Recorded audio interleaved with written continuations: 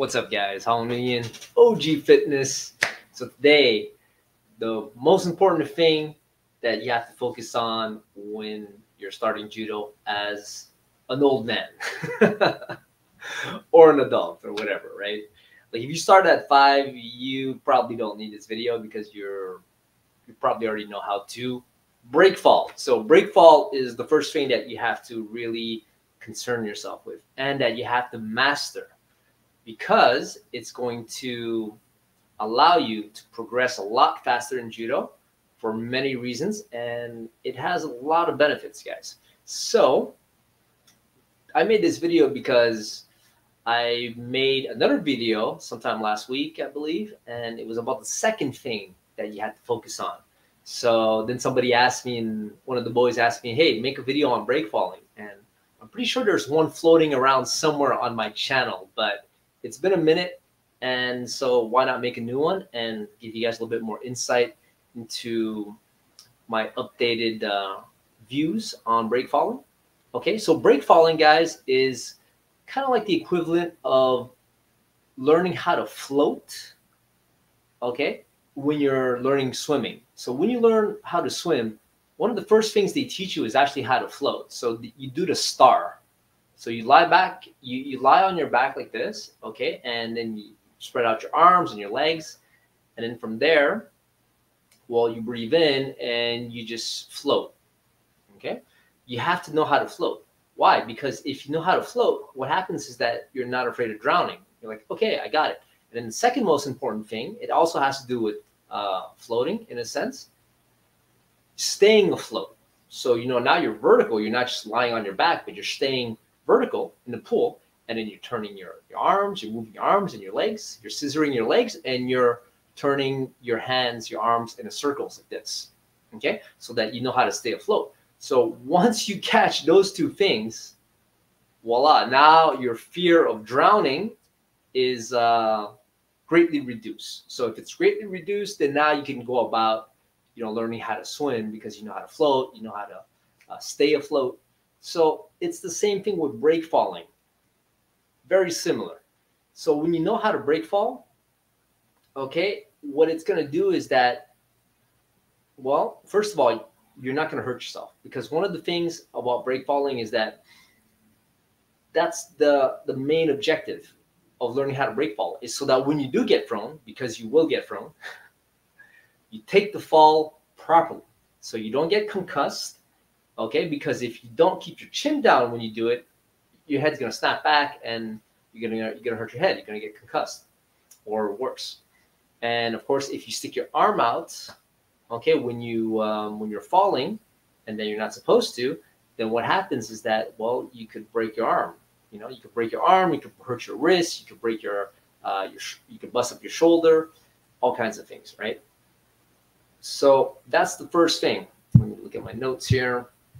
Oh, guys, by the way, I'm not making a video. Like I, I, don't really enjoy honestly like making videos of, of technique. I will, but I mean if there's good videos out there already, okay, I'm gonna put it down in the um, in the description uh, box. And I found a great video for you guys. And uh, you'll see there's no talking in it, and it's from the Kodokan. And they show you how to progress to you know full break fall like while somebody's fronting you. It's really, really good. So let me play this for you guys while I continue uh, yapping away and explaining to you guys a little bit more in depth what it's all about. So check this out. I like this view. Perfect. So do you guys see that? Okay, I'm trying to full screen this this thing. Oh wait, I gotta play it. Give me a second, guys. But I'll put the link in the description box so you guys can check this video out. But I just want to play it while we're while I'm chatting away because it's more entertaining uh, that way a little bit, I think. Okay, this video, let me. Hey man, where's the video, man? There you go. Won't be long. Sorry about that. Okay. So you guys should be seeing it now. It's rolling. See, Kodokan. And the Japanese, listen, I didn't learn it like this. I did not learn it like this. But I did not learn it with me. Turn down the volume a little bit on this uh, on this SOV because uh, you know. There you go. So no volume. All right, back to me yapping away. I did not learn it like this. And then when I saw this video and I found this video, I was like, why? Why did nobody teach it to me like this? You know why? Because this is the Japanese way and it's their sport and they're the best at it in the world. So they definitely know what they're doing. They're ultra refined, uh, ultra detailed. So I think it would have been, I think I'm actually going to show this to, uh, to the beginners in my class. Okay. So now back to what I was saying. Um, so once you know how to, so the, the first thing, the, the reason why you want to learn how to break fall properly is so you don't get hurt. Okay. That's one. And the second thing is that, well, if you know how to break fall properly, then you have no fear of getting thrown. So if you have no fear of getting thrown, what happens is that you actually attempt to throw.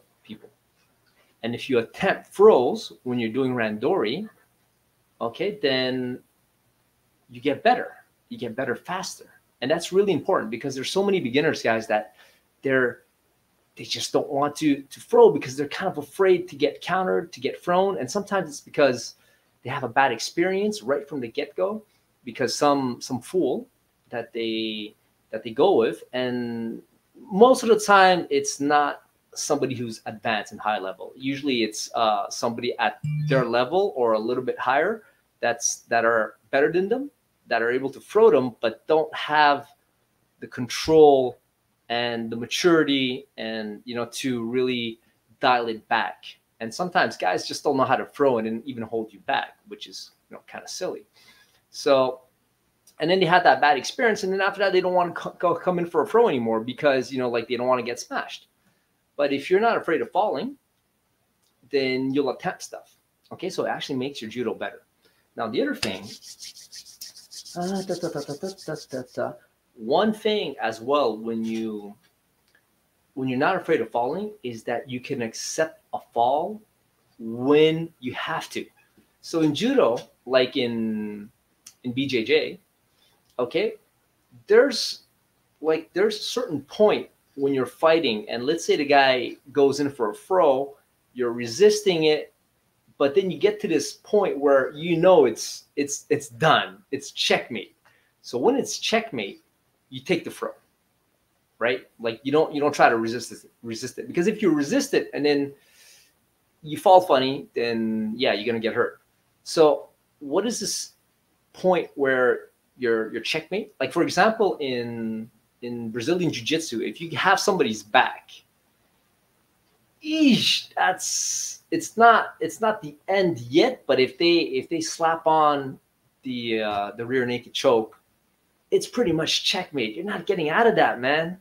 You know, so it's one of those things. It's like, yeah, if you're really lucky and the guy maybe isn't experienced enough, and you you muscle your way out of it, you fight for your life, you might get out of it, but chances are it's like 99% you're 95, 99, whatever, you're done you're done, right? So in judo, it's the same thing, man. There's a certain point where you're losing, you're so off balance that there's no way, there's no way you're getting out of that. So you have to understand where that point is. And it takes a little bit of time. It takes being thrown a lot to to know, okay, no, screw this. I'm taking the fall, right? So if you take the falls like you're supposed to, you're good. You're not going to get hurt. So it's really important to understand um, when to take those falls. And the only way to to get uh, to be able to get to that point is to actually, um, well, go in for throws and do randori and all that, and not have that fear because it is going to block you if you guys are afraid of falling. Okay, so on to my other point. Mm -mm -mm all right, so how would you? Oh, the video is done, and now we have Jesse Enkamp. I like this guy. He's kind of he talks very very soft spoken and all that but then when you look at his content it's actually it's actually good stuff man so oh i'm gonna I want to critique one of not critique, but uh, I want to make a video about one of the videos he made. It was really interesting. Like he was talking to this Aikido guy. Anyways, off subject. Okay, so getting back to, um, you know, break fall. Let me let me put back the, the judo stuff, man.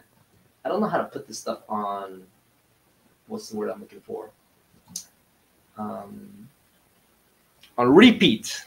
Voila, voila, on repeat. Okay, so now there is a way that you could get used to um, getting thrown and taking the falls a little bit faster than just through randori is that you do this when uh, guys do uh, nagekomi. So basically, they're you're just practicing throws. So or and you can do even extra. You can have guys throw you, guys who have control, uh, throw you, and then slow it down, and then you know let you land. So you start off on you could uh, get them to throw you on the crash mat first, so you get uh, you know so you get a sense of how it is to be thrown and be spinning in the air because it's a crazy feeling, guys. It's like when you get thrown, uh, a lot of times guys go in fast, but just because they go in fast and they throw you hard, they could still, the guys with control, they could still hold you back. Okay. They're not going to smash you through the ground. They're going to hold you back at that last second, pull on that, uh, pull on that sleeve. So there only one shoulder touches and you'll be okay. It's, it's a lot, uh, a lot better than, than both shoulders smashing onto the ground. So you want to get used to that speed that acceleration and that like being upside down in the air feeling, right? And then so that way you you you get used to it, and then not be, it doesn't become a thing anymore. Like you're like, oh, okay, that's what it is. So then, of course, on the on the crash mat, you get these guys to throw you, and trust me, there's always guys or gals that will be happy to throw your ass. You tell them, hey, I want to get uh, over my fear of uh, of break falling, or not necessarily fear, but hey, I just want to get better at break falling and let me know if I'm doing it right. And your feet have to be in the right position. There's a lot of little details. That's why this video, I'm going to put it down in the description. You guys can check it out. And so that's that's really important. Okay, you have people throw you. Now the other thing is that it also conditions your body too for impact, right? The fact that you're always slamming into the ground like that, like it conditions your body. It's kind of like um, you know, if you if you practice Muay Thai or you practice boxing, you're hitting the bag, you're kicking the bag, bang, bang. Like that's a form of conditioning. Your bones are gonna get harder on that, your muscles too, your joints and all that. So it's it's uh it's a good thing. Like it's it's good for for, for your body. So you have to practice these these these uh these break falls. Um and it's the first thing that you got to master because if you get this right, I'm telling you, spend a little bit more time on it, put a lot of emphasis on it you know, like come in a little bit early and, you know, start practicing your break falls. Normally, uh, not at every club, but normally when when you start your class, you're break falling and you're doing rolls and all that. And, um, you know, but if you're, if you're a beginner and it's not enough because sometimes they don't do enough of that at the beginning, right? It depends on the coach. It depends on the class. And sometimes it's just that you need more. So just come in a little bit earlier and do more, or even at the end, just, you know, when your body's warm, it's, it's a good time too to like really warm compared to at the beginning. At the beginning, obviously they're to do general warm up, then they're to start doing like break falling and all.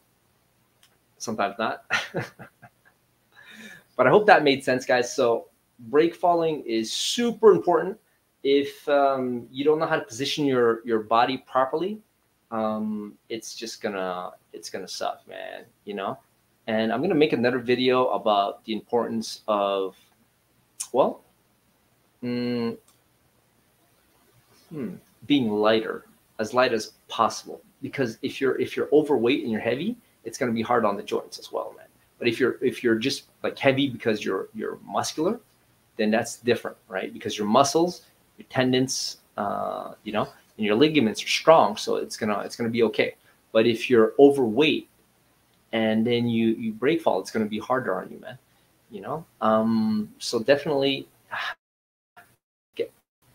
have your weight in check if possible. If it's not where um, it, it, it, should be, it could be, then yeah, work on that. Like I'll, I'll make another video on how I um, suggest you guys do it because there's a lot of information out there in regards to um, what do you call it, uh, like losing weight and all that. And dude, I'm a guys, I'm a, I'm a fitness guy, right?